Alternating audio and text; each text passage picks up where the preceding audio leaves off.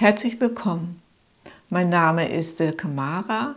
Ich spreche Sternensprache, Lichtsprache und übermittle Botschaften in Form von Geschichten. Heute lese ich euch eine etwas ältere Geschichte von mir vor, die aber trotzdem immer noch ihre Gültigkeit hat. Und die Überschrift lautet Das Mädchen und der Ball. Das Mädchen spielt vergnügt mit seinem Stab, an dem viele bunte Bänder hängen. Jauchzend bewegt sie den Stab immer wieder in eine andere Richtung und die bunten Bänder flattern lustig im Wind. In einiger Entfernung sieht ein Junge dem Mädchen missmutig zu. Warum hat sie mit diesem dummen Spielzeug so viel Spaß? Und ich mit meinem neuen Fußball gar nicht, fragt er sich. Sein Vater hatte ihm diesen Ball von seiner letzten Geschäftsreise mitgebracht, aber er hatte nicht mit seinem Sohn gespielt.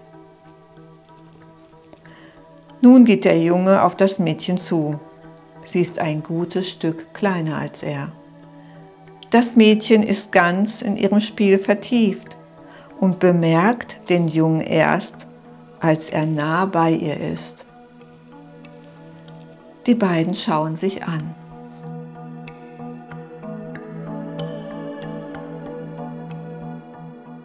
Willst du mit mir spielen?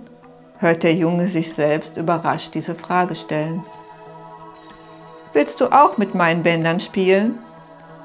Der Junge sieht sie verdutzt an und nickt.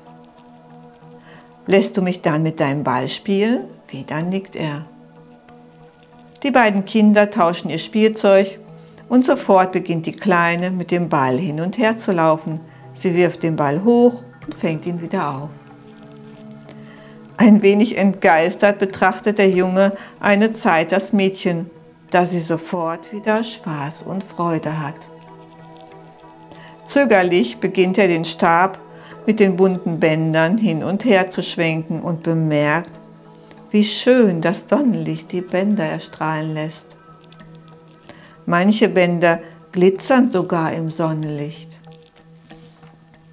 Nun beginnt er die Stange mit den Bändern so zu bewegen, wie es sein Körper möchte.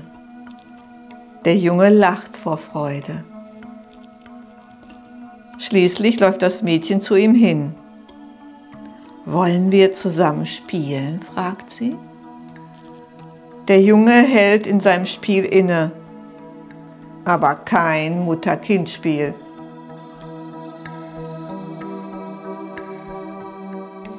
Die Kleine lacht. Nein, natürlich nicht. Du bist als Kind schon zu groß für mich. Wollen wir Ball spielen? Der Junge lächelt unwillkürlich und die beiden beginnen ein eigenes Spiel mit dem Ball zu kreieren und lachen immer wieder dabei.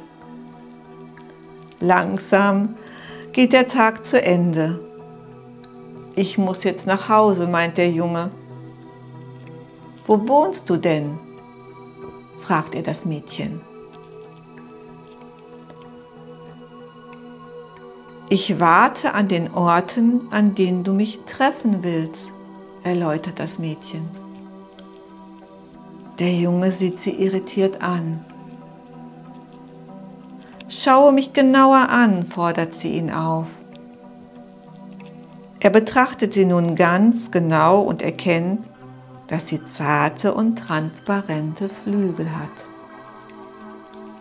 Nein, du hast nicht so viel Fantasie, ruft sie aus, auch wenn dies die Erwachsenen manchmal zu dir sagen. Lasse dir dies nicht einreden. Wenn was du wahrnimmst, ist Realität und ich liebe dich genauso, wie du bist. Immer wenn du traurig oder ängstlich oder wütend bist, dann erinnere dich an meine Worte oder treffe dich einfach mit mir. Sie lächelt.